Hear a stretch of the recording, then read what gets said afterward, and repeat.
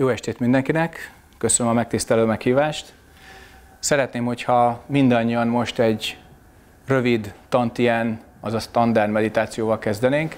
Üljünk egyenesen, a kezünket tegyük egy Mahamudra tartásban a tantien elé, az alkarok a combon nyugodhatnak, nem kell őket elemelni, de a tenyér él az menjen be az alhashoz, szemek legyenek nyitva, és éber, tértudatos meditációt folytassunk, félig lehúnyt szemmel, teljesen ne hunjuk le, figyeld a lélegzeted, figyeld a tartást, és a tudat pedig figyelje a hangokat, amely előfordul a környezetben. Így töltsünk el három teljes percet.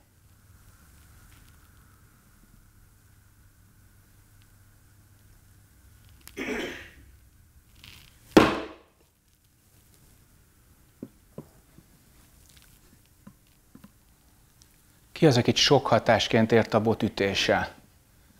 Na, az nem volt itt. Tehát, hogyha engeded, hogy a tudat elmászkáljon, akkor nem vagy itt a térben. Ha nem vagy itt a térben, akkor nem látod, hogy mi történik a térben. Ekkor bármiféle hirtelen hatás sok hatásként érvényesülhet, ezt kipróbálhatod pályaudvarokon, közlekedésben és egyéb helyeken, de ilyen biztonságos környezetben a legjobb. Tehát ha a tudat jelen van, akkor itt van a térben és tükrözi, hogy mi van a térben. Ha nem, akkor vissza kell jönni hirtelen Disneylandből, a kalandparkból. És akkor ez a hirtelen inger hatás visszahoz. Mi mással kezdenénk egy Aikido dojóban a Dharma beszédet, mint a kivel, amely energiát és információt egyaránt hordoz. A koreaiak úgy tartják, hogy amikor megszületik valaki, akkor a benne lévő energia és tudatosság egyszerre az a won-gi, az eredeti energia. Ehhez képest a gyerekek ugye, többet mozognak, kevesebbet, kíváncsiabbak, magukba fordulóbbak, és ilyenkor látható, hogy mennyi van bennük ebből az eredeti energiából. Kevés vagy sok, kicsikét élénkebb, vagy éppen magukba fordulóbbak. Ez, ami a 3D-s tér és az egydimenziós idő, az DG-nek vagy nagy energiának neveztetik. Sokkal nagyobb, mint mi, a működése az eléggé nyilvánvaló, rengeteg tárgy van benne, rengeteg erőhatás van benne, sokkal nagyobb és idősebb, mint az ember, és ezt DG-nek, nagy energiának hívják. Mi az, ami ezt a kettőt összeköti? A harmadik az a kong-gi, vagy üres energia, ez pedig a lélegzet. És érdekes, hogy minden meditációs módszerrel, minden meditációs úttal együtt jár a légzés figyelése. Van, ahol ez meg is szűnik és kiismerül, van, ahol ez a módszer megállít, de van, ahol tovább folytatódik, és a tudat is csinál valamit, például a hangokat, egyebeket figyeli. Ahhoz, hogy a Wongi és a Dégi, az egyén és a világ harmonizálódjon, ahhoz jelen kell lenni. A meditációnak eredetileg ez volt a célja, és a mai napig ez. Hogyha figyeled a lélegzetet, akkor a kongi, az üres energia harmonizálja az egyént és a világot. Ez csak éber tudatállapotban képzelhető el. Az egyé vált, harmonizált energia, az kóreaiul a hap ki, az egyesített energia, ami japánul aiki, és ennek az útját harcművészeten keresztül tanította Osensei, Moriei Uyeshiba, és az ő tanítványai és a belőle kiágazó hagyományvonalak. Nem ez az egyetlen út, és nem csak a harcművészet ennek az útja. Minél tárgyatlanabb a tudat, és minél inkább mozdulatlan a test, annál nehezebb ennek az elsajátítása, mert kevesebb az, amivel foglalkozni tudsz. Nem tudsz a mozgásba belekapaszkodni, nincs egy ellenpont, egy ellenfél, akinek a tükrében megláthatod magad, de annál messzebbre tudsz vele menni, minél eszköztelenebb. És annál több mindenre tudod használni, minél kevésbé speciális. Nagyon érdekes az, hogy meditátorok és harcművészek nagyon hasonló módon vélekednek az emberi gondolkodásról.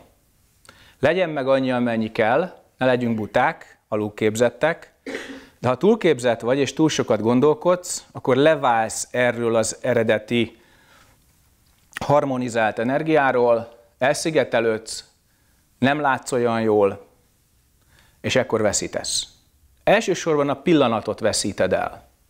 És amikor a pillanat elvész, akkor a harcban is veszítesz, az életben is veszítesz, mert lemaradsz, vagy előremész.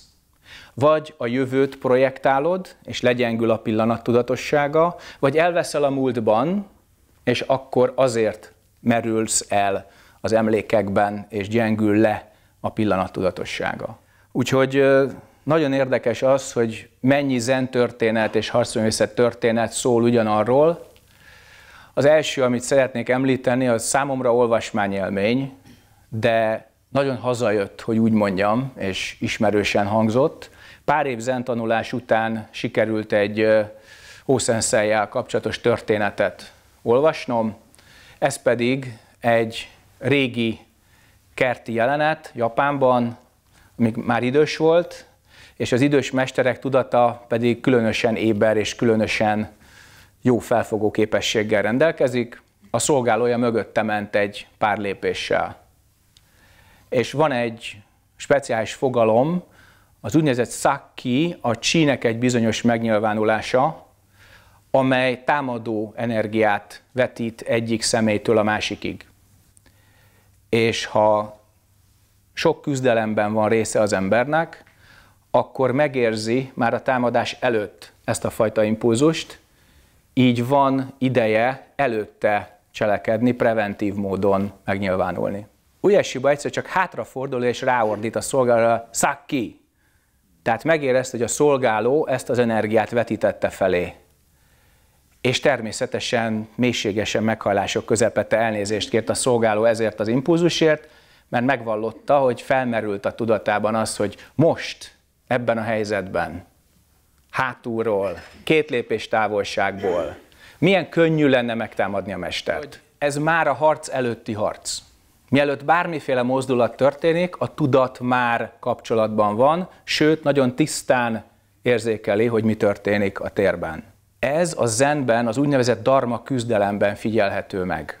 Van a zen tanító, van a tanítvány, felad egy koant, és a tanítványnak válaszolnia kell. A koan az verbális harcművészet. Mondok egy példát. Jojo zenmester meglátogat két remetét. Megkérdezi az egyiket. Elérted? A remete felmutatja az öklét. Jojo azt mondja, itt sekkély a víz, nem maradhatok. Megy a másik remetéhez, azt is megkérdezi. Elérted? Az a remete is felmutatja az öklét. Jojo meghajol előtte, és azt mondja, birtokában vagy a legmagasabb rendűnek. Miért fogadta el Jojo az egyik választ, a másikat pedig nem? És hogyha ebben a pillanatban nem jelenik meg a válasz olyan tisztán a tudatodban, ahogy Ószenszei érzékelte a feléje jövő szakit, akkor elkezdesz gondolkodni, kimozdulsz, veszítesz. Az az érdekes, hogy minden a jelenléten múlik. Mennyire tisztán vagy jelen ebben a pillanatban, ebben a térben? Mennyire tiszta a tudatod? Mennyire ködösítik el a saját gondolataid, érzelmeid, énséged és a többi? A meditáció nem szól másról, mint hogy tapasztaljuk meg eredeti tiszta tudatunkat, váljunk egyé a világgal, és ezzel a tiszta tudattal működjünk a mindennapi életben. A zen eredete visszamegy Indiába, a szó szanszkritul gyána, ezt a buddha idejében, 2500 évvel ezelőtt meditatív úton gyakorolták, mert egyszerűen másképp nem lehet. Le kell hozzá ülni, mozdulatlan test, mozdulatlan beszéd, csend, és mozdulatlan tudat. Ez a legnehezebb. Pár hónap, és tudsz úgy ülni, hogy a test nyugalomban van. A légzés figyelése és megtartása pár év. De a tudatnak a mozdulatlan, tiszta, térszerű, tükörszerű állapotban való megőrzése, megtartása, a mindennapi életbe való átvitele az jóval több. Függ a magaddal hozott karmától, de sokkal nagyobb munka. Épp ezért, amíg a tudatnak tárgya van, amíg van miről gondolkodni, amíg a testnek van mozogni valója, amely leköti a tudatot és idehozza a pillanatba, addig ez sokkal könnyebb. A külvilág megerősíti, vagy megcáfolja az elképzeléseidet. Ha tényleg jelen vagy, és jobban, éberebben vagy jelen, mint az ellenfeled, te nyersz. Ha nem, akkor veszítesz. De az élet nagyon sokszor nem ad tiszta visszajelzést, mert már maga az impulzus sem tiszta. Tehát a világos impulzus, tiszta tudat, egyértelmű visszajelzés. Ingadozó, kétkedő impulzus, tisztátalan tudat, szétszórt visszajelzés. Ezekre figyeljünk akkor, amikor kétségbe zuhanunk, vagy dilemmáink vannak, vagy esetleg válsághelyzetben vagyunk. Mert pont ezek a helyzetek mutatják a saját házi feladatunkat. Amikor a külső ellenfél láthatóan vereséget mér ránk, akkor mi már az előtt vereséget mértünk saját magunkra. Csak nem vettük észre. Vagy ha észrevettük, nem voltunk hajlandók elfogadni. Ugyanez, amikor látszólag nyerésre állunk és nyerünk, akkor belül már egy harcot megharcoltunk, már valamennyi karmát leraktunk, már azt a terhet nem visszük. Úgyhogy egy ismételt harcművész történettel szeretném a bevezetőt csak lezárni. Volt egy külső irányzatos harcművészet, ahol új tanítót avattak. És az új tanító hatalmas népszerűségnek örvendett, tényleg fekete öv többszöröse, és hatalmas bulit csaptak a város megfelelő negyedében, és utána kicsit kapatosan mentek vissza. És az egyik ház előtt állt egy két lóval befogott szekér. Ahogy a zajongó csoport jött visszafelé, úgy a fiatal szenszei érezte, hogy a lovak meg fognak bokrosodni. Egy ugrással átrepült a lovak fölött, és pont a lovakkal szemben ért földet, egy enyhe ütést mért a ló fejére, és ezzel egy enyhe sokkot kapott az állat, és a megbokrosodás így nem következett be. És mindenki magasztalta a fiatal science hogy milyen fantasztikus, milyen gyönyörű, milyen gyönyörű képességekkel rendelkező új tanítónk van, és mindenki rohant ugye a nagymesterhez, hogy ezt elújságolja. Amikor a nagymester ezt meghallotta, akkor így a földre szegezte a fejét, és azt mondta, korán adtam át. Meghallja ezt a fiatal mester, és lelkismeretes volt, oda megy a nagymesterhez, leborul előtte, és megkérdezte, hol a hibám, mester, kérlek taníts. És a nagymester azt mondja, ha megérzed ezt a lovakról, nagy ívben elkerülöd a szekeret. Tehát megmutatkozott ott, ahol nem kellett volna, megnyilvánult ott, ahol nem kellett volna, tehát már ahhoz képest is későn érezte ezt meg, hogy ugye elkerülhesse a szekeret az egész csapattal együtt. Tehát ez rámutat arra, hogy még inkább az előzetes percepció, még inkább a megelőzés és a helyes cselekvés a fontos, nem pedig a megnyilvánulás és a képzettség, a gyönyörű rutin bemutatása. Mert bizonyítani szeretnénk, győzni szeretnénk, valakiknek lenni szeretnénk. És pontosan ez az a vágy, amely kimozdít a középről, kimozdít a hub kiállapotából, és leválik a vongi a dégiről, elveszítjük a lélegzetünket, elveszítjük a pillanatot, és ezáltal elszigeteltségben élünk, sőt másokat is elszigetelünk ezáltal. Úgyhogy a meditációnak akár mozgásos harcművész meditáció, akár ülő zen meditációról van szó, ugyanaz a feladata. Tiszta tudat, és a tiszta tudat segítségével a helyes helyzet felismerés, megfelelő kapcsolatteremtés és megfelelő cselekvés. Ebből a hármasságból lehet igazán az életet összerakni. Helyzetfelismerés, kapcsolatteremtés, cselekvés. És itt például egy igen kulturált harcművész környezetben ezt nagyon jól lehet gyakorolni. Sőt, másokért tenni. Mások felébredésért, felébresztésért és tanításáért, illetve a tőlük való tanulásért lehet ezt tenni. Úgyhogy, ha ezt így fogjuk föl, akkor az élet nem sorozatos, véletlen baleseteknek a gyűjteménye, hanem tudatosan választott utak, keresztutak, körforgalmak és döntések következménye. Ha egy helyzetbe kerültél, mi volt a részed benne?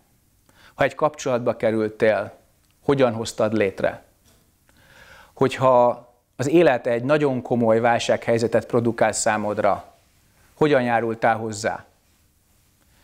Ekkor megszűnünk projektálni, panaszkodni, a világra vetíteni a saját karmánkat, de ugyanúgy le tudjuk hántani a felénk irányuló kivetítést, a felénk irányuló projekciót, és pontosan látjuk az ok és okozat működését. Az ok és okozat működése csak is a saját tudatunkban fedezhető fel a leghívebb, legautentikusabb módon. Tehát ezért a meditációban befelé fordítod az energiát, és többféle módszerrel, akár az előbb tapasztalt hangok figyelésével, akár pedig más módszerekkel, de belül fölfedezed azt, hogy hogy működsz. Ezt hívjuk realizációs praxisnak, a megvalósítás gyakorlatának. Ha nem, akkor az energia állandóan kifele irányul, és csak az érzékszervi valóság sebességével tudsz bármit is belátni. Magyarul a fal adja a másikat. És néha még annak se hiszünk. Kell a harmadik is. Ha pedig befelé fordul az energia, és megkérdezed, hogy mi ez, mi ez, ami hall a fülemmel, lát a szememmel, érez a szívemmel, gondolkodik az intellektusommal, akkor mentális sebességgel haladsz, amely sokkal gyorsabb az érzékszervinél. Ezekre voltak a sztorik példák az előbb. Olyan tudati tér alakul ki a nagymesterben, ahol már az előtt észrevesz, hogy fizikai síkon megnyilvánult volna. Tehát hol vesszük észre mi a saját impulzusainkat, a saját énségünket, a saját gondolatainkat, érzelmeinket? Van-e olyan tudati terünk, hogy felismerjük a belőlünk áradó impulzusokat, és a felénk áradó impulzusokat? Ha tiszta a tudat, akkor ez megvalósul. És amennyire tiszta a tudat, annyira tisztul le az élet is. Szerintem ennyi bevezetőnek bőven elég, és szeretném a kérdés feltevés lehetőségét megadni mindenkinek. Foglalkozok az önmagam megismerésével már több éve, és felfedeztem azt, hogy mint egy tudathasadásos állapot, több énem is megnyilvánul, több fajta énem. Nyilván ennél sokkal több, de a három az, ami jelentős. Úgy mondom, ahogy én hívom magamba. Az egyiket hívom a isteni énemnek, a másikat hívom a mondjuk luciferi énemnek, a harmadikat pedig az emberi énemnek. Így tudom kifejezni, ez, ez egy személyiség megnyilvánulás. Más időben jelenik meg mind a három. Másként tudom kezelni mind a hármat. Sajnos ez, a, a, amit én luciferi énnek nevezek, ez egy agresszív állapot. Azt is tudom, hogy ez a bennem lévő elfolytott agressziónak az állapota. És ebben szeretném a segítségedet kérni, ezt kérdezném, hogy hogyan tudnám ezt az állapotot, amikor egy, egy agresszív energia van velem, van rajtam, bennem, tehát tudom, hogy bennem van. És én most úgy kezelem, hogy elvonulok az emberektől. Elzárom magam, hogy ne bántsak senkit, mert bántanék vele. Nem tudok normálisan beszélni, nem tudok normálisan cselekedni, csak agresszíven ilyenkor. És hogy hogyan, hogyan tudom én ezt úgy kezelni, hogy, hogy összevonni a, a felsorolt többi énemmel, és, és nem bántani, de ugyanakkor ö, nem is elfolytani magamban. Háromféle énségről beszéltél. Megnyilvánulási formáról. Szerencsés vagy, mert van, aki még többel küzd, de még ennyire sincsen szükség. A kérdés az, hogy mi az, ami ezt a három énséget látja. A tudat látja ezt a... Mi a tudat? Aki engem, mint enge- emberi testet ide kivetít. Nem elég. Nem a tudat vetít ki. A tudatban lévő karma vetít ki. Nem a tükör rajzolja az arcodat. Odaállsz a tükör elé, és a tükör tükrözi. Nem mindegy. Ha visszatérsz ebbe a pontba, az összes énség megszűnik. Csak a látó marad. A felfogó marad. Ebben a pillanatban csak az volt, hogy tak! Oké? Okay? És ekkor az összes énség, amit a gondolkodásod, érzelmed, a karmádnak a vektorai teremtenek, abban a pillanatban megszűnik. Ezt a zenben úgy hívjuk, hogy a nem tudható tapasztalata, a nem gondolkodó tudat tapasztalata, a tisztán látó, de nem énhez kötött tudat tapasztalata. Rengeteg neve van, de eredetileg nincs neve és nincs formája. Nincs énsége vagy éntelensége. Jobb hiány lényegnek nevezzük ezt, és ebben a lényegben semmi olyan nincs, ami szilárd, abszolút értékű, változtathatatlan dolog lenne. És ezért jó hír az, hogy ezt a három ént nyugodtan le lehet bontani. Ezeket nem kell összegyúrni, nem kell párosítani semmivel. Küld oda-vissza, ahonnan jöttek. A nem tudhatóból jöttek, és a nem tudhatóba távoznak. De ha nem tapasztaljuk ezt a nem tudhatót, akkor csak fogalmaink vannak, mert a fogalom előtt itt még nem sajátítottuk el. Úgyhogy ezért javaslom azt, hogy nem az énekkel kellene lapátolni egyik sóderhalmot a másikra, hanem nyugodtan a sóderbányába vissza lehet talicskázni az egészet. Ott van jó helyen. Gondolatokból jött, azok tartják fönt, érzelmek, és mihelyt a gondolkodás folyamata megszűnik, a tudatos érzelemformálás folyamata megszűnik, itt meg tudsz szakítani, el tudod vágni, vissza tudsz elé térni, és ekkor tapasztalsz valamit, ami énség előtti. Tehát a saját gondolataimmal én magam tartom fenn ezt a háromfajta megnyilvánulást? Így van. És erre nincs szükség. Sokkal könnyebb nélkülük. Amikor erőt kell mutatni, mutass erőt. Amikor befogadónak kell lenni, mutass befogadót. De ne gyárts le énséget, egoitást egyikből sem. A helytelenül megélt erőből lesz az erőszak, és a kellő helyzetben, illetve a megfelelő helyzetben meg nem, meg nem nyilvánult erőből lesz a gyengeség. Jó? Tehát megfelelő időzítés, megfelelő helyzetfelismerés, semmi baj az erővel. Nagyon kell. De ha nem megfelelő helyen, időben és körülmények között nyilvánul meg, akkor vagy túlvezérlés, erőszak, vagy alulvezérlés, gyengesség, erőtlenség következik be. Jó? Szívesen. Egyéb kérdés? Én három nappal ezelőtt teljesen megzuhantam, összetört az életem. Három napot úgy éltem meg, hogy teljes sötétség, és az az énem, aki akkor voltam, az megszűnt. Összeírtam minden fájdalmamat, meghasonlásomat, az összes csalódásomat, édesanyám elvesztését, párom elvesztését, munkám elvesztését, tehát mindent összeírtam, és ma vagyok először abban az állapotban, hogy normálisan tudok beszélni. És úgy ébredtem reggel, hogy örömteli ember vagyok. Mert tegnap elégettem ezt a 15 oldalas papírt. Ha nem égetted volna el, akkor most kértelek volna rá. És egy nagyon érdekes dolog történt. Kiüresedtem. Az első meditáció alkalmával kiszálltam, tehát nem tudtam itt maradni a térben. Lélegeztem, és eltűntem ebből a mostani világból és amikor megütötted a botot, visszazökkentem, Sokként éltem meg, tehát nem vagyok a, a tér tudatomban.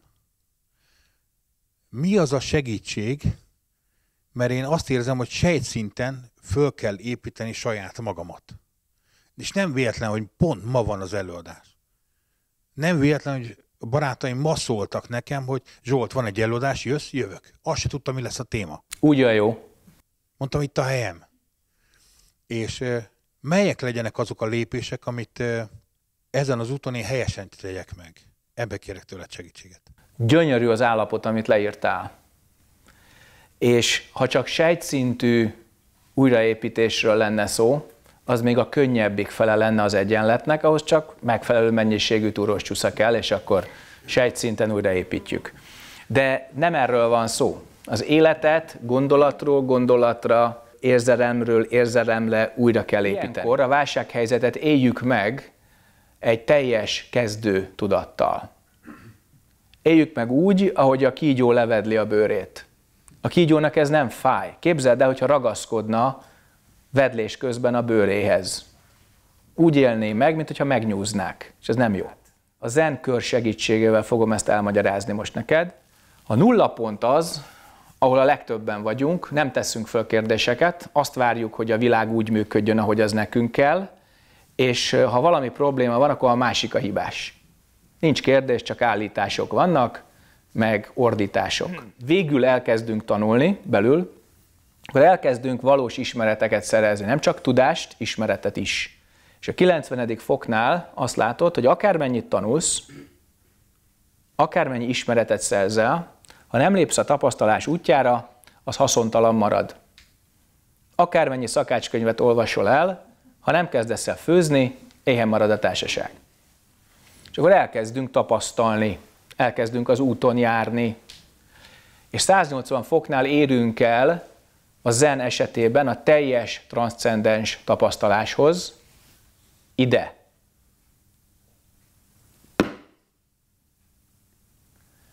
Viszont ha ebben benne maradunk, akkor vagyunk az ürességhez, azt mondom, teljesen rossz viszonyban, az ürességhez ragaszkodó állapotban, és ekkor hibát követünk el. Ez a legmagasabb, de egyben a legmélyebb állapot is, és hogyha ebbe valaki beleragad, akkor nem tudja élni az életét. Tehát ha egy válsághelyzetben, ahol kiürülsz, mert az élet lepucol rólad szinte mindent, ha benne maradsz a válsághelyzet mentes állapotában, hiszen csomó mindentől mentesülsz. Eleinte olyan, mintha levágták volna rólad, aztán rájössz, hogy megszabadultál. Kinnal, keservel, vérrel, verítékkel, de megszabadultál bizonyos dolgoktól, emberektől, akikhez kötöttél bizonyos módon, de akkor is kikerültek az életedből. Létrejött az a vákum, az az üresség, amelyben egy újabb életet tudsz felépíteni, de nem úgy, ahogy az addig volt. Elindul egy transformációs folyamat, és a transformáció a 180-tól 270-ig tartó folyamat, mikor rájössz, hogy az életed bármely aspektusát teljes mértékben át tudod alakítani. Olyan embert faragsz magadból, amilyet akarsz. Olyan kapcsolatokat építesz föl, amelyeket jónak látsz. Pontosan azért, mert már volt egy én alakulat, már volt egy kapcsolati tapasztalat, már volt egy világtapasztalat, és az elvágódott. És ennek a birtokában, a formának, a létnek, illetve az ürességnek, a megszűnésnek a birtokában már teljes lesz a kör. És a 270 foknál látod azt, hogy a transformációs átalakító képesség eléri a maximumát. És ekkor derül ki az, hogy te bármit alakíthatsz az életedben, de ha csak magadért teszed, akkor egy újabb kötést hozol létre, ugyanúgy létrehozol valamit, amihez ragaszkodsz, amivel azonosulsz, és ez nem igazi elkötelezettség, nem igazi eltökéltség, hanem egy én központú világ.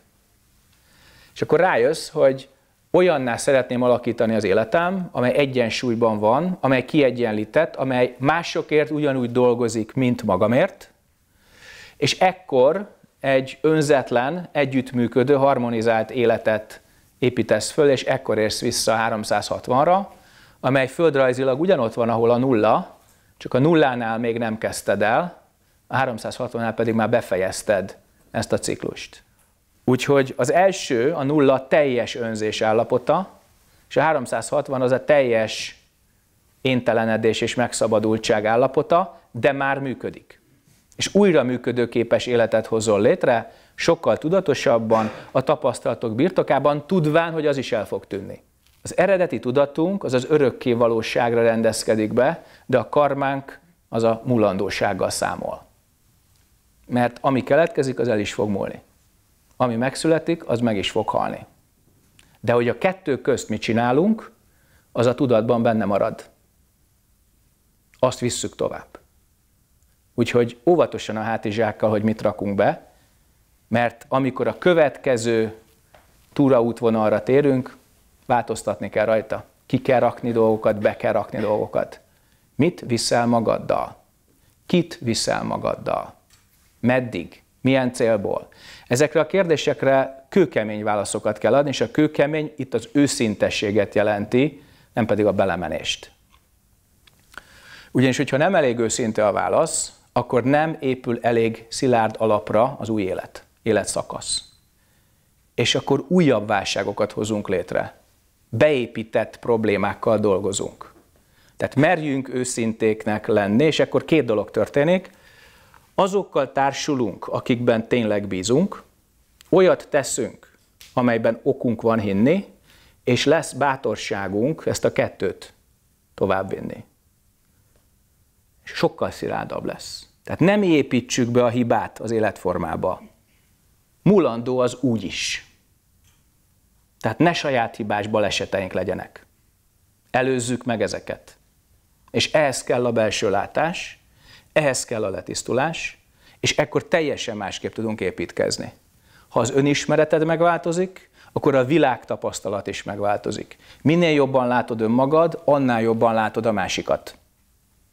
Ezek egyenletek, amikkel érdemes dolgozni, és a belső tapasztalat mértékében lehet ezekhez hozzányúlni. Én azt szeretném kérdezni, hogy idő, tehát hogy úgy érzem, mintha lenne egy ö, életfeladatom, ö, és az én ö, helyzetemben ez a tanítás.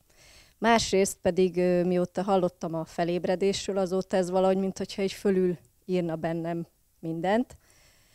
És hogy, hogy most valóban van-e ilyen, hogy életfeladat, vagy ez csak egy ilyen illúzió, vagy össze lehet hozni ezt a kettőt, mert néha úgy érzem, hogy legszívesebben elvonulnék valahova, és tényleg csak így a, a meditációval foglalkoznék. Tehát, hogy, hogy nem tudom, hogy ezt így hogy lehet ö, kezelni, ezt a dolgot. Ki kell próbálni. Elvonulsz, és az elvonulás első napján rájössz, hogy ez borzasztó. És hogy anyám, én nem ilyen lovat akartam, én megyek innen. Korábbi karmánk van, különben nem születnénk. Korábbi vállalásaink vannak, különben nem lenne akaraterőnk, nem lennének vágyaink, nem lennének taszításaink. Ezek jelölik ki a karmának az útját. De ezek nem bebetonozott sors elemek. Ezek valószínűségek. Azonosulásod mértékében függsz a karmától. Ha leválasztodsz róla, jobban látod, meg tudod változtatni. Át tudod írni, le tudsz bontani tulajdonságokat, és fel tudsz építeni tulajdonságokat. Tehát a karmánk tehetetlensége az nem életfeladat, az lendület, az visz előre.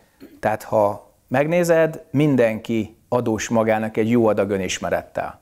Nem úgy születünk, hogy kész használati utasítás személyre szabva ott vár az éjjeli szekrényen, hogy tanulj meg olvasni, és akkor elolvasod. Azt belül kell fölfedezni. A fölfedezés erőfeszítésbe kerül. És az erőre azért van szükség, hogy kibírd azt, amit látsz magadban. Tehát nincs előre elrendeltetett életút, de van olyan karma, amely valószínűbbé teszi azt, hogy hegedű művésznő leszel, hogyha egy olyan tehetséget hoztál le, ha pedig nem, akkor más képességeid, más karmád van, és akkor az valószínűsíti, hogy mondjuk könyvelő, titkárnő, tanárnő és egyebek lehetsz. De mindent meg lehet tanulni, és mindent el lehet felejteni. Viszont amit lehozunk, lelket, abban egy csomó minden már kész van a korábbi életek miatt. Ezek a tendenciák azok, amelyek könnyebben érvényesülnek. Ezért nem vagyunk szerencsére egyformák. Tehát a tárháztudatunk és a megkülönböztető tudatosságunk tartalmazza a tulajdonságokat, az emlékeket, a polaritásokat, így a választásokat és vonzásokat is. Ha ezeket előbb látod, sem hogy érvényesülnének, akkor tudsz rajtuk változtatni. Ha ezeket csak meg tudod nyilvánítani, akkor vagy robot, és a karmád az csak manifestálódik, és kész. Tehát mindenkinek van életútja. Amennyire tudatos, annyiban tud dönteni. Amennyiben nem lát, annyiban van sorsa, annyiban érzi, hogy az élet csapja jobbra-balra, hogy vele csak történnek a dolgok. Nem történnek, csak nem látott át valamit. Test, lélek, szellem, tudat. Milyen viszonyban vannak egymással? Metafizikai, melyik metafizikai és melyiket nevezhetjük fizikainak? Rövid választ fogok adni, különben holnap reggelig itt ülünk, és csak a keletit. A nyugati fogalomrendszerekben, filozófiákban, vallásokban nem próbálok megrendet tenni. Keleten a meditációs tapasztalat és az erre épülő kultúra miatt nagyon letisztult a fogalomhasználat. Tehát a test az a hardware. Szem, fül, orr, nyelv, tapintás, agyhoz kötődő gondolkodás, szívhez kötődő érzelemformálás. Ez mind-mind a test maga is. Itt kell kezdenünk, mert ez látható, ez nyilvánvaló. Na most erre épülnek lelki funkciók, tudati funkciók. Keleten személyes tudatnak, nyugaton léleknek nevezik azt, amely egyéni gondolkodás, egyéni érzelemformálás, beleértve a megkülönböztetést és emlékezést. Tehát az öt fizikai érzékszerven túl, ami a hardware, megkülönböztetnek keleten három mentális szintet, amely a fogalomalkotó elemző gondolkodás. Itt párosítom ezzel a jelenséggel azt a szót magyarul, hogy bot, angolul pedig stick, németül stükke, paruski, palica. Ő nem mondja azt egyik nyelven sem, hogy én vagyok a bot, vigyázzá. Nem mond ilyet. Mi vetítjük rá, ezt hívjuk nyelvi teremtésnek, vagy nyelvi jelkiosztásnak. Ez a hatodik. A hetedik az a megkülönböztető tudat, azt mondja, hogy ez a bot rövid vagy hosszú. Szeretem vagy nem szeretem. Félek tőle vagy remélek tőle. Itt teremtjük az emlékezés és érzékelés polaritásait nagyjából a három nagy ösztöncsoportnak megfelelően, mennyiben szolgálja ez a túlélésemet, birtoklásomat és sokszorozódásomat. Amennyiben szolgálja, az a jó. Ha nem szolgálja ezt a három ösztöncsoportot, akkor rossz. Így döntünk. De már születésünktől fog, hogy anyuci, táplálék, meleg, biztonság, gondoskodás, nem anyuci, nem otthon, éhezés, betegség, halál. És ez a megkülönböztető tudatosság elképesztő finomságot tud elérni, és az összes érzékszervi hatást és gondolatot, hatosban keletkező fogalom tömeget is megcímzi, és eltárolja. Tehát az identitás is itt terem a hetesben, így gyártom le azt, hogy én, vagy nem én. Szeretem, nem szeretem. És a nyolcadik, a tárháztudat, azt tárolja az összes olyan emléket, amely poláris, amelyen van pozitív vagy negatív címke, én vagy más címke, barát vagy ellenség címke. És ebből áll össze az identitás. A tudatos része is, és a tudattalan része is, a pozitív fele és a negatív fele egyaránt. Na most a 6-os, 7-es, 8-as tevékenysége és tartalma együtt a lélek. Amikor megszületünk, akkor a lélek csatlakozik a testhez, amíg élünk, együtt van, és amikor meghalunk, akkor szétválik, és a születetlenség állapotában testetlenül van. És amikor eljön az idő, megszületik újra. Viszont az a tudat, az a tudatosság, vagy nyugaton a szellem, csak nem tudok a szellemmel mit kezdeni, szellem. Tehát, nem? Az a tudatosság, ami ezt látja, az nem része az 1, 2, 3, 4, 5, 6, 7, 8-nak. A 6-os, 7-es, 8-as az a szoftver. Az 1, 2, 3, 4, 5 az a hardware. De az operátor, annak nincs száma. Amelyik ezzel az érzékszervez kötött lényel viszonyban van, ami látja ezt az egészet, ami bennünk másban ugyanaz, nem keletkezik és nem szűnik meg. Rengeteg neve van, de nincs formája, eredetileg neve sem, csak nevezzük buddha természetnek, megvilágosodás természetnek, isteni szikrának, rengeteg neve van, de eredetileg nincs neve és nincs formája. Na ez az, ami látja az 1, 2, H, 4, 5, 6, 7, 8 együttműködését, és ez az operátor. És ezt azért ajánlom, mint működési modellt, mert működik. És nem kell külön spekuláció és agyalmány és bizonyítás és egyebek. Leülsz, folytatsz egy egyszerű, tárgyatlan, tiszta tudati meditációt, és az összes csatorna 1-től 8-ig megmutatja a tevékenységét, a létét, a működését. Tehát ez, amit mondok, ez a Mahayana buddhizmusban és a zenben is a test és a lélek együttműködésének a modellje, és a tudatosságod szintjének megfelelően látod a nyolc tudatszint működését. Amennyire tisztán látjuk, annyira tudunk ugye velük műveleteket végezni, és hogyha nem vagyunk tudatosak, akkor az azért van, mert azonosulunk egyik vagy másik csatornával, néha az összessel. Tehát ha van egy tükröd, és a tükörre valaki ráír valamit rúzsal, akkor az lehet egy nagyon szép üzenet, de ahol rúzsos a tükör, ott nem tükröz. Ott csak rúst mutat, semmi többet. Tehát nem szabad azonosulni egyik szinttel sem, sem a test, sem a lélek tartalmával, mert ha igen, akkor nem látunk tisztán. És ha nem látunk tisztán, nem vagyunk szabadok. Ha nem vagyunk szabadok, akkor felelősséget sem tudunk vállalni.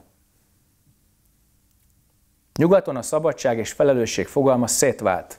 Mai napig kevéssé van együtt. Keleten teljesen együtt van.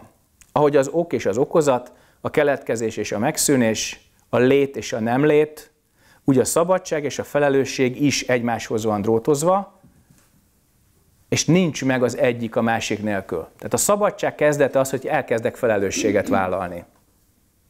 És hogyha kellő tisztasággal vállaltam a felelősséget, az nagyobb szabadsághoz vezet.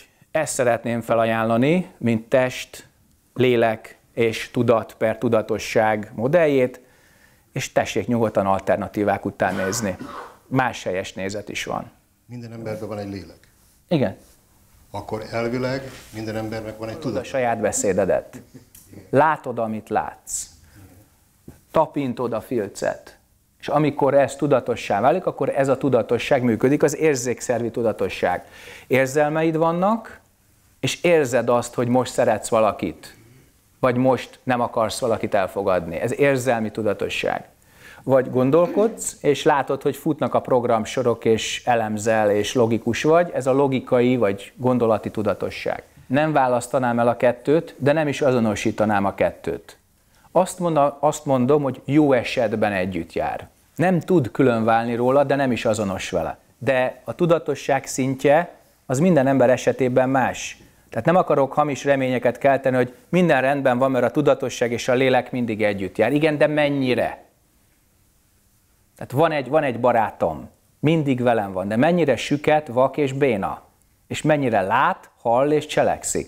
Tehát a lélek tudatosság az nagyon fontos, nem választható el, de nem is Én azonosítható. azt szeretném megkérdezni, hogy mikor leszület egy lélek, akkor ő választja meg a szüleit, és hogyha igen, akkor mi alapján választ?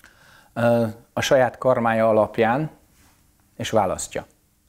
Tehát nagyon-nagyon nem véletlenszerű, hogy ki hova születik, milyen társadalomba, milyen környezetbe, milyen szülőkhöz, mert pontosan ott tudja folytatni azt a karmát, amit az előző élet végén abba hagyott.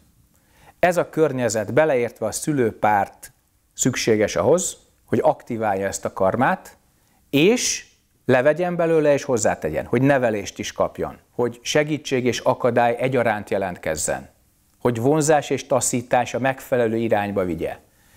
Ezzel telik el nagyjából az első 17-18 év az irányzék állítása, az összes tapasztalat korábbi identitási élményeknek az ismétlése. Nem azt jelenti, hogy nincs szabad akarat, van, csak még nagyon kicsi ahhoz képest, hogy a környezet milyen erős hozzá képest.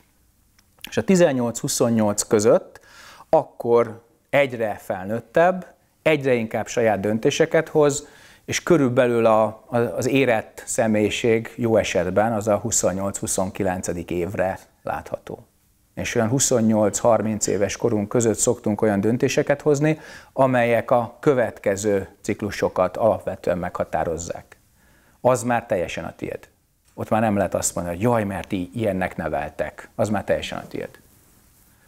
Úgyhogy amit tovább viszünk innen, az határozza meg, hogy a következőben hova születünk, milyen szülőkhöz, tessék azért megbecsülni a mostaniakat, a mostanit nem becsüled, akkor a következő se lesz jó hozzád.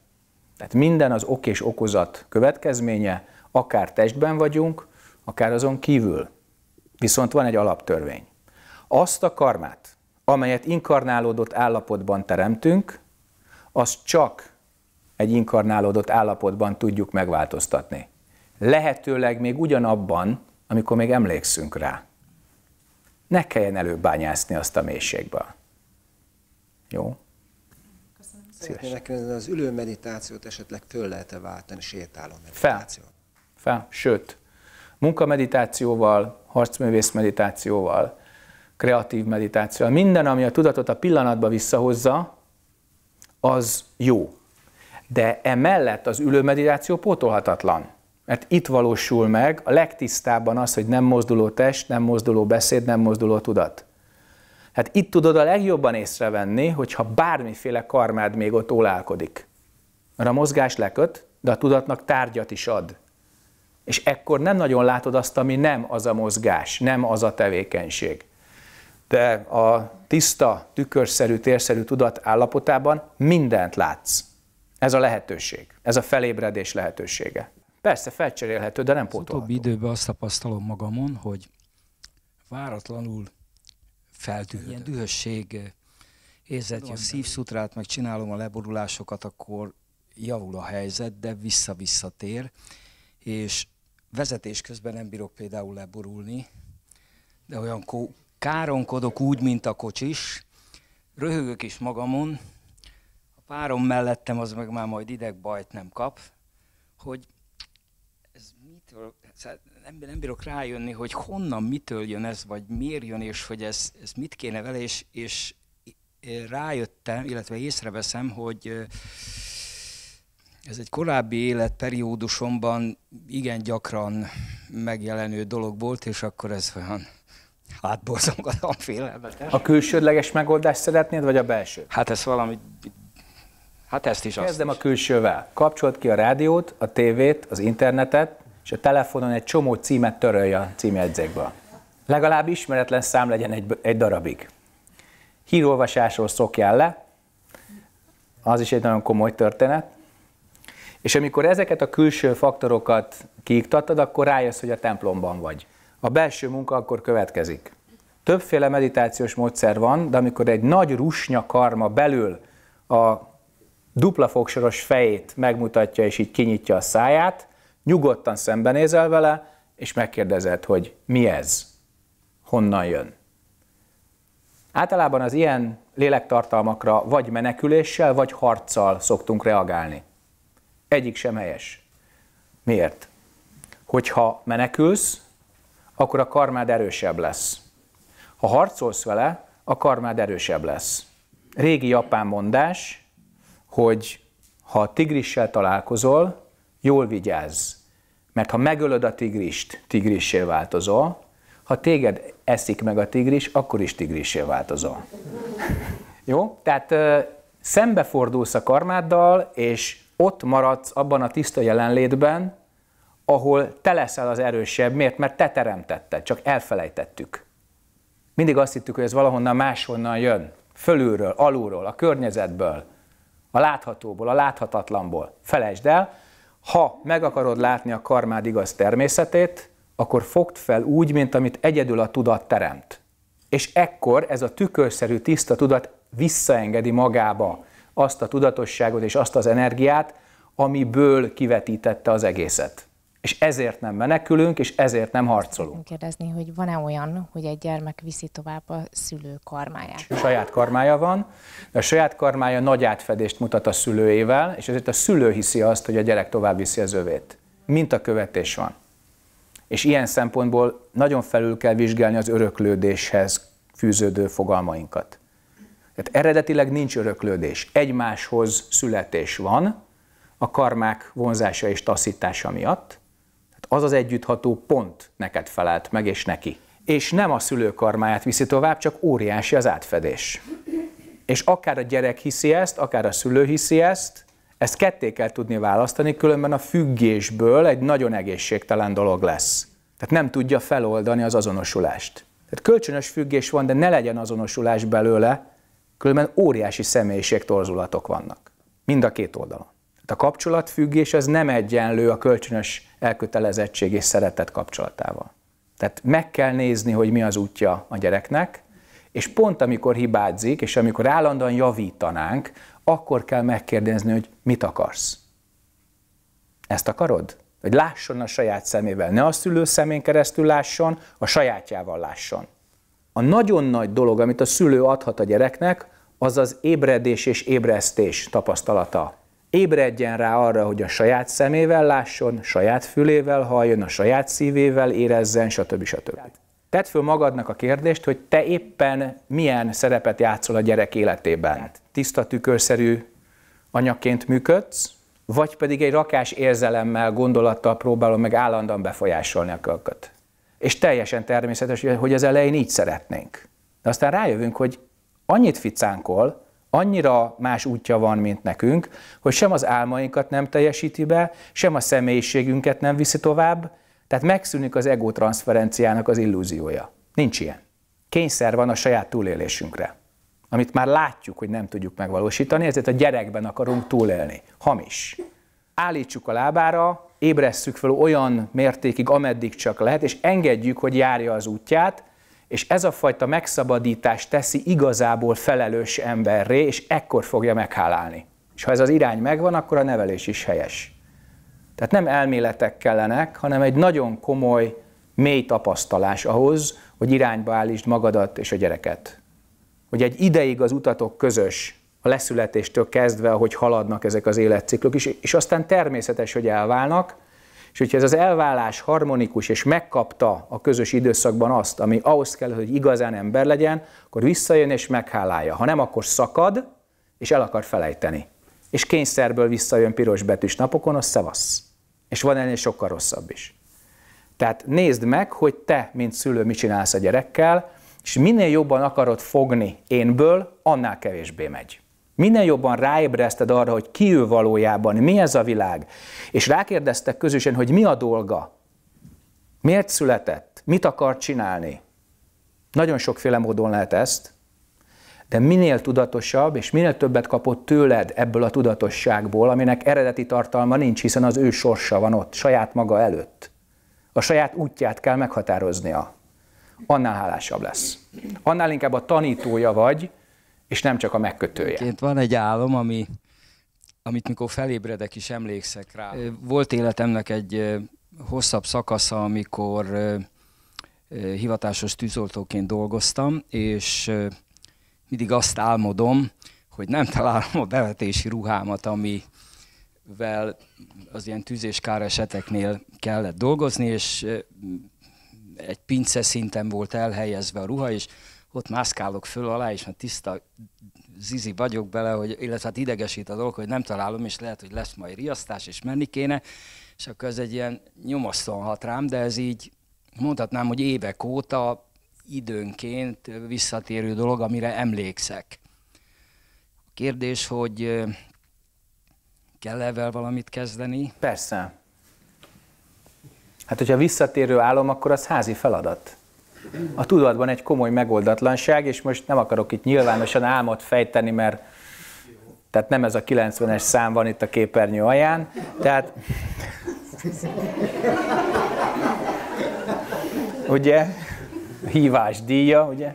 Na, szóval, amikor ugye nem találja az ember ezeket a szerepszemélységeket, mint bevetési ruha, akkor az életben vállalt szerepével, vagy a kapcsolataiban vállalt szerepével van baj és ott a házi feladat csinálni kéne valamit, sőt, mivel tűzoltó környezetben jelenik meg, ezért sürgős.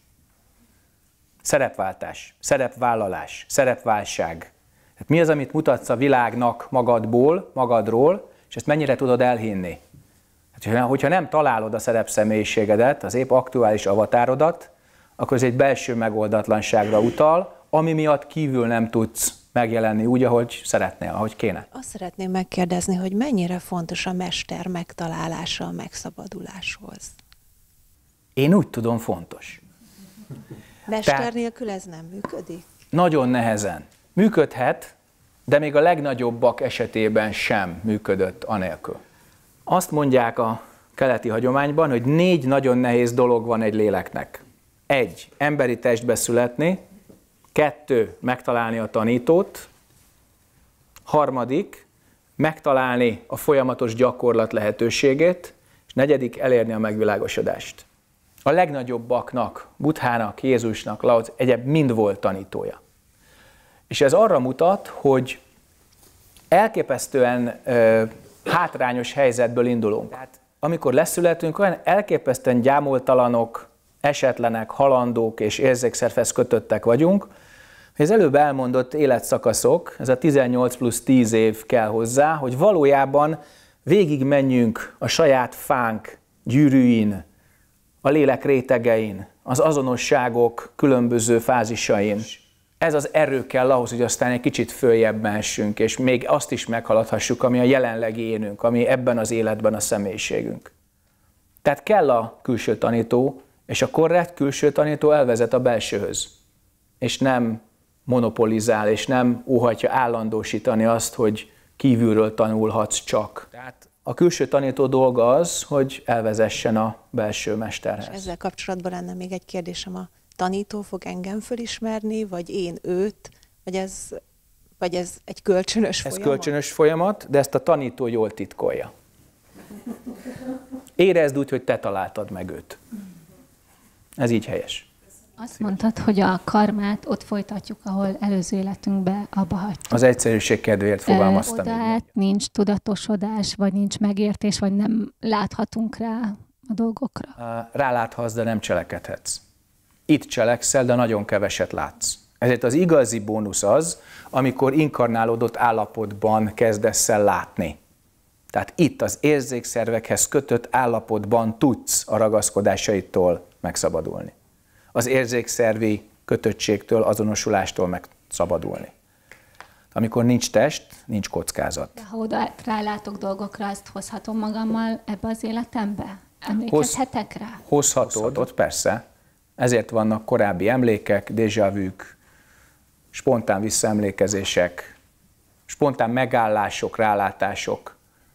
Nagyon sokszor van az, hogy lehorgonyzol egy szobor előtt, és ilyen megszámlálhatatlan réteg korábbi emlék ott van.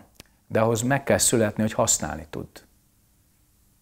Tehát amikor nem kötődsz az érzékszervekhez, nincsenek a hullámsávok kiosztva és a lét így lehatárolva, mindent látsz, de nem tehetsz semmit. Itt lent határok között élsz, kötöttségben élsz, sokkal kevesebbet látsz, de cselekedhetsz. De változtathatsz rajta. És ezért van az, hogy a tudatos énünk olyan picike a tudattalanhoz képest. 5, jó esetben 10 százalék a tudatos én a tudattalan aktív tartalmához képest.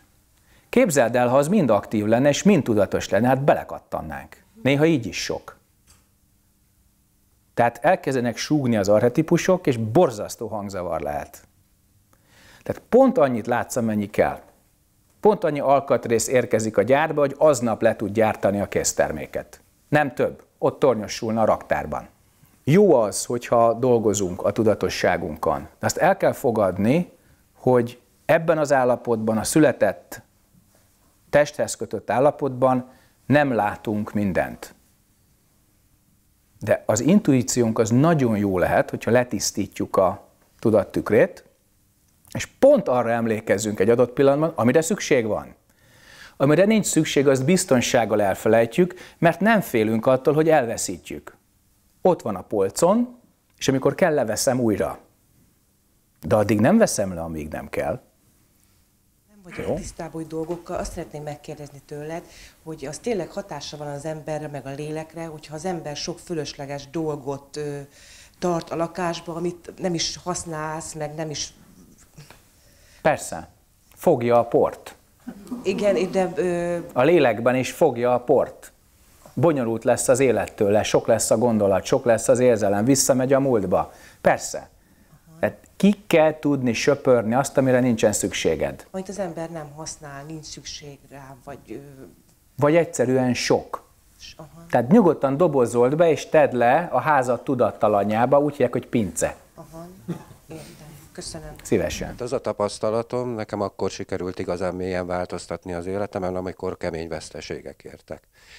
Ö, és azt szeretném kérdezni, hogy ö, ez kell le hozzá, vagy pedig van egy olyan módszer, amivel ezt ö, mesterségesen el tudod. Sajnos alapból kell hozzá, ugyanis ha nem gyakorlunk, akkor a belső veszteségek nincsenek meg, akkor kívül kell veszítenünk.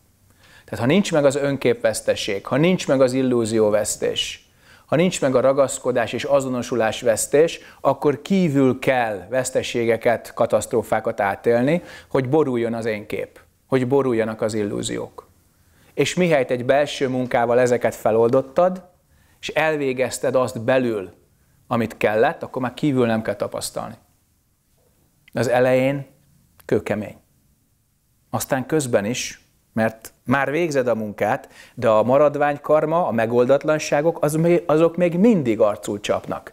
És akkor feláll ez a teljesen paradox érzés, hogy de én már csinálom, én már jó vagyok, én már dolgozom, én már meditálok, és mindig pif, puf, és ez évek. Tehát ezért kell intenzíven gyakorolni, minél hamarabb tudjuk le az egészet. És akkor már nem kell kívülről kapnod faladja az egyiket és a másikat is, hanem belül elvégezted. És fel tudtad adni azt az önképet, azt az azonosulást, azt az illúziót, ami generálta a külső veszteséget és a katasztrófát. Ahhoz kell motivációt, hogy elinduljak egyáltalán. Szenvedés. A szenvedés, külső és belső szenvedés, és akkor egyszer csak rájössz, hogy eleged van. És akkor változtatsz. A szenvedés kapcsán az egyéni karma, családkarma, országkarma, világkarma, van-e ilyen, milyen viszonyban vannak ezek? Szoros viszonyban vannak. És mi az, amit e- ezek kapcsán kiemelnél a mostani időszakra? Az, hogy az egyéni karmán tudsz a legjobban és legközvetlenebbül változtatni, ez a legnagyobb felelősséged, és a legnagyobb lehetőséged.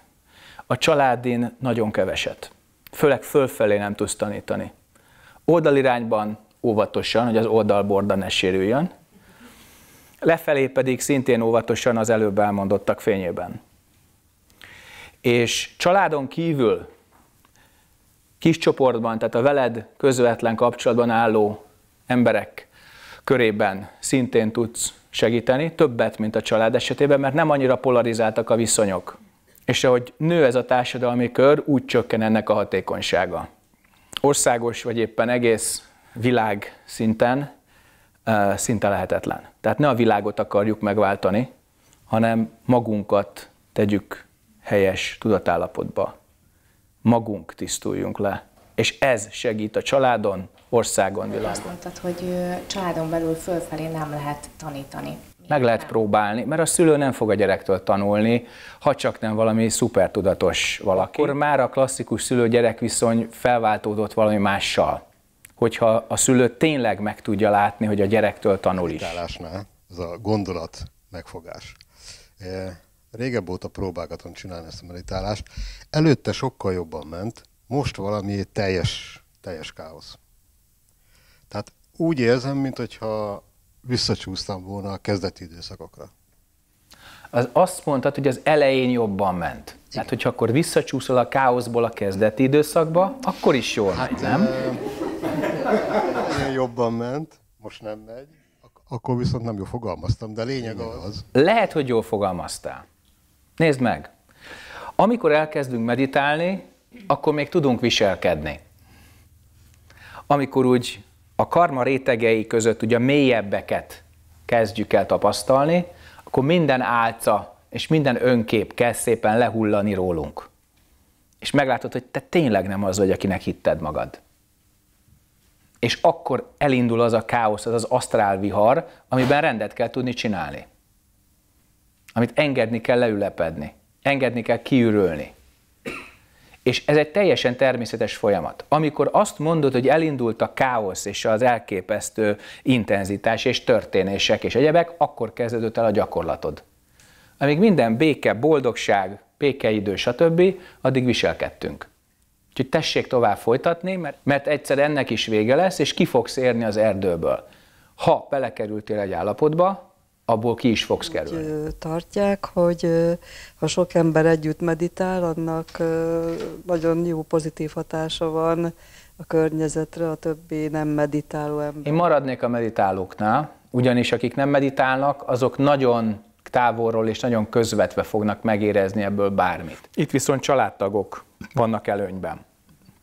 A vérségi kapcsolat, a szoros karma, az itt előny tud lenni, az nem jelenti azt, hogy hurrá, és virágsziromeső fogadja a meditálót minden esetben a család részéről. Ez nem így van. De a jótékony hatások azok hosszú távon, ha sikerül meghonosítani a gyakorlatot valakinek az életében, az működik. De a csoportos meditáció esetén én inkább a csoporttagokra, az aktívakra szeretnék koncentrálni, ahol a részeknek az összege az tényleg sokkal kisebb, mint az egész maga. Tehát elképesztő ereje van annak, hogy csak 10-12-en együtt ülnek, ahhoz képest, mint amikor 12 fő így egyénileg gyakorol a saját kis sufniában. Fantasztikus ereje van, és, és javaslom mindenkinek, hogy próbálja meg több okból. Az egyik, hogy itt ez a mentális hóruk, hogy egyszerre próbáljuk a karma szekerét kilódítani a sárból, nagyon erős. Minél többen egyszerre hórukkozunk, annál nagyobb az esély. A másik része a vélemény szabadság. Ez azt jelenti, hogy szabadon nyilváníthatsz véleményt, de a másiknak szabadságában áll azt nem elfogadni. Tehát legyúrjuk egymásról azokat a véleményeket, amelyek teljesen szükségtelenek, míg hogyha valaki egyedül gyakorol, addig ezek a vélemények elképesztő erővel tudnak érvényesülni, és elhiszem őket, mert nincs senki, aki tükrözze, aki látta, láttassa, hogy ez nem így van hogy felesleges, jó esetben, vagy hamis, rossz esetben. A közös gyakorlatnak óriási ereje van, és éppen ezért javaslom, főleg egy olyan társadalomban, ahol a társadalom történeti hagyományok egy egyéni, individuális létet jelöltek meg alapként. És az individuumokból épül fel a család, a csoportok és a társadalom egésze. Keleten ez fordítva van. Ott a csoport az első, és szépen megyünk le és az utolsó, legapróbb kis szubjektum maga az egyén, amely elhanyagolható a mai napig az ázsiai tömegtársadalmakban. A kettő közti egyensúlya jó. Az egyéni gyakorlat felelősségére és erejére is szükség van, de a csoportos gyakorlat véleménypucoló, éntelenítő, az egyéniséget föloldó hatására is szükség van. Mind a két környezetben tudnunk kell gyakorolni. És itt, főleg Európának ezen a részén, a csoport az sérült többet. Tehát az erőltetett csoportosulás, a kommunizmus, az lerombolta a hitet a közösségekben, korrumpálta a csoportosulásokat. És éppen ezért nehezen társulunk, nehezen bízunk meg egy vezérelvben, egy vallásban, egy ideológiában, mert látjuk azt, hogy ez rosszra is felhasználható. A közösség az nagyon sérült Európának ebben a részében, és ennek a lassú gyógyulása az csak hiteles szellemi utak mentén képzelhetők el. Új szervezés és új szervező elv lesz ez. És ezt az embereknek maguknak kell, nekünk magunknak kell kigazdálkodnunk, lelkileg, szellemileg. Máshonnan nem jöhet, hiszen annyi jött már fölülről, és annyi bukta volt belőle, hogy az lenne a jó, hogyha megszűnnénk fölülről várni a megoldást, és belülről egymással és egymás közt találnánk ezt meg. Ez egy más út. Ez szokatlan. De más eredménnyel is jár, mert a megszokott eredmények, amiket eddig láttunk a mai napig, az nem túl biztató. Ezért érdemes szemléletet váltani, hogy más úton járhassunk, és másképp viszonyulhassunk egymáshoz. Tehát nem lehet csak parancsszóra több bizalmat, több szeretetet, jobb együttműködést és egyebet kérni. Milyen alapon? Úgyhogy ezt az alapot kéne megteremteni, és ezt fölülről már nem fogod megkapni. A saját keresésedből és a keresés során az egymásra találásunkból, az egymásra találásainkból lesz ez közös akarat esetén. Ha nem, nem muszáj. Tehát az helyesen szerveződő csoportnak az az ismérve, hogy bármikor elmehetsz. És csak a saját szabad akaratodból kerülhetsz be. És a szervező elv az pedig mindig világos és az ott folyó gyakorlat cselekvésben és szóban átfedést mutat, és ugyanabba az irányba megy. Azt szeretném megkérdezni, hogy a fiam 21 éves, és hogy ő neki már saját kormája van, vagy pedig az én a féltésemmel vonzom be azt a sok bal szerencsét nála, hogy mindig valami baj éri. Mindkettő. Saját karmája is van, de már akkor volt, amikor egy éves igen, volt. Igen, igen, Nem csak, csak 21 évesen, igen. csak még kevesebbet láttál belőle. De a fiút nem kéne félteni fel kéne ébreszteni a saját karmájára, és akkor le tudod választani azt, amit te vonzol be az életébe, vagy amit ő. Tehát, hogyha féltjük a gyerekünket, és nem tanítjuk, azzal tesszük a legrosszabbat. A személyes ego az mennyire fontos? Az ego semennyire, a személy az igen. Az erőssége, vagy hogy... Egyszerre erőssége és gyengéje sajnos. Tehát az egoitásra nincs szükség, a személyre szükség van. Viszont az ego határozza meg részben a szemét. Nem. Hát, mert? Az ego az egy hamis önkép. A személyiség az, amivel dolgozol, mint ember, mint karakter. A személyiség minden eleme felépíthető, bontható, a kapui átjárhatók.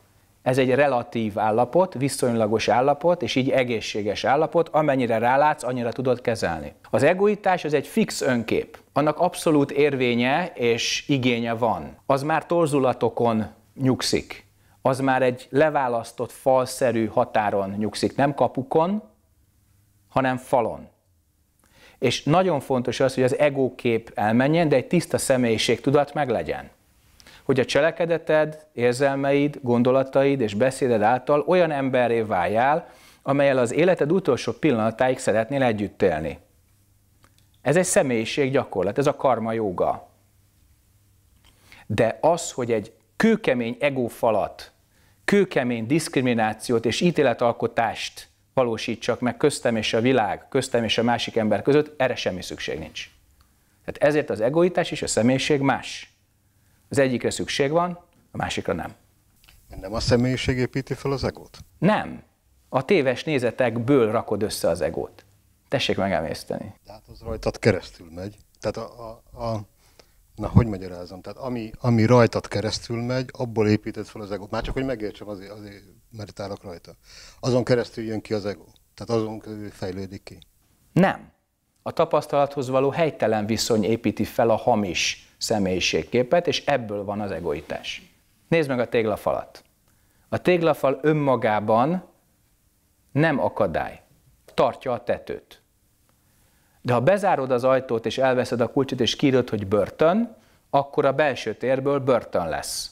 Ha kinyitod az ajtót, és azt mondod, hogy dozsó, akkor itt harcművész gyakorlat lesz. Tehát nem az érzékszervi tapasztalatok határozzák meg a létet, hanem az ahhoz való viszonyot határozza meg az én élményt.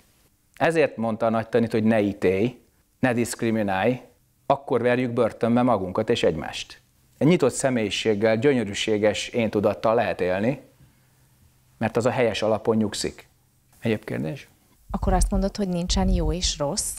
Eredetileg nincs, de mi csináljuk, mi legyártjuk, mi olyanok vagyunk, egy, abszolút értelemben vett jó és rossz nincs. De legyártjuk azt, ami szenvedést okoz, tehát legyártjuk a rosszat.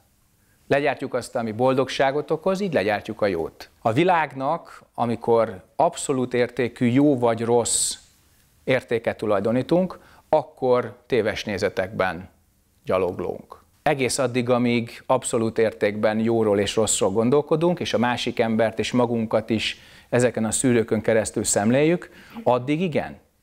És mihelyt relatívak a fogalmak, mihelyt helyzetfüggőek a fogalmak, mihelyt tudomásul vesszük az adott körülményeket, helyi szinten nagyon gyorsan látható, hogy mi az, ami jó, boldogsághoz, megelégedéshez, harmóniához, kiegyenlítettséghez vezet, vagy pedig szakadáshoz, pusztuláshoz, egyenlőtlenségekhez és egyébhez, ez pedig a rossz. De ez mindig helyi szinten, lokálisan érvényesül, és nem pedig megvan írva a nagykönyvben. A nagykönyv lapjai eredetileg üresek. Mi írjuk rá a szöveget, az életet és a halált. És így mi teremtjük a jót és a rosszat. Eredetileg nincs ilyen. Abszolút értékben nincs ilyen. Valami mentén csak haladunk, és Pontosan. a cselekedeteink, hogy most én jót teszek, vagy, vagy nem teszek rosszat, az már... Persze. Tehát azt valamilyen az előbb, értékrend Az előbb elmondott ösztöncsoportok, azok nagyon meghatározzák, hogy nekünk mi a jó. Tehát a túlélés, birtoklás, sokszorozódás, az számunkra eldönti, hogy mi a jó és a rossz. De hogyha az éntől eltávolodva minél nagyobbra nyitott ki a körzőt, és minél nagyobb csoportot veszel alapul, úgy lesznek egyre relatívabbak ezek a kategóriák. Tehát hányféle vallás, nyelv, és néptánc és konyha van, úgy, hogy beszúrod ide a körző egyik felét, 500 kilométerre kinyitod, és megrajzolsz vele egy 1000 kilométer átmérőjű kört. Nagyon sok. Ha ezt leszűkíted egy kilométerre, sokkal egyértelműbb, hogy mi a jó és mi a rossz. De ha kijebb nyitod, olyan relatív lesz, hogy az hihetetlen. És ezért mondom mindenkinek, hogy ha meg akar szabadulni ezektől a falaktól, akkor utazzon, ismerjen meg más kultúrákat, népeket és egyebet, hogy lássa, hogy nekik mi a jó, nekünk mi a jó, a harmadiknak mi a jó, és így nagyon szépen relatívan látja az egészet. És akkor hajlandóak vagyunk tudomásul venni, hogy mi és a világ hogy működünk, kultúra függően, csoport függően és a többi. És tudomásul tudjuk venni, és el is tudjuk fogadni. És akkor talán együtt is tudunk működni. Megköszönöm mindenkinek a figyelmet, a megtisztelő meghívást.